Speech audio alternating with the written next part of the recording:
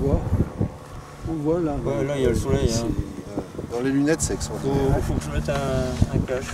Alors, En fait, il faut vent, avoir il un bon téléphone.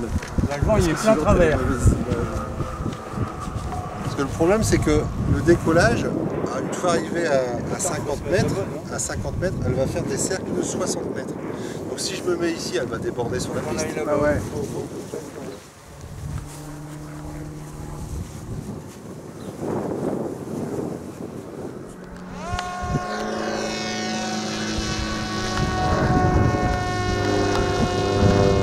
Ah oui, une fois que je, je retouche au stick, euh, Ça annule tout, ça annule tout. Ah, c'est génial.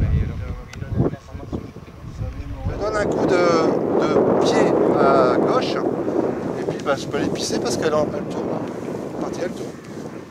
Elle va tourner des, des cercles de 60 mètres. Tu, tu choisis tout, le diamètre, le tir, tu choisis tout. Et elle le fait en vol tranche. Non, elle est auto-stable. Là, elle est vraiment auto-stable pour les débutants. Donc, elle fait pas de looping ni de tonneau.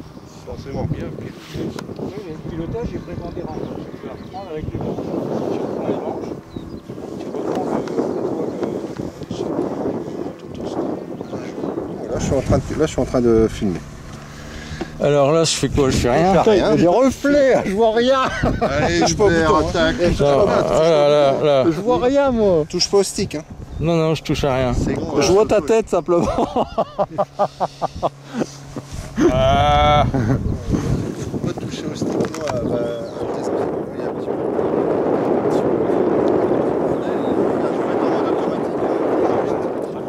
Là, faut juste que je sois pas trop court. Je vais appuyer sur le bouton.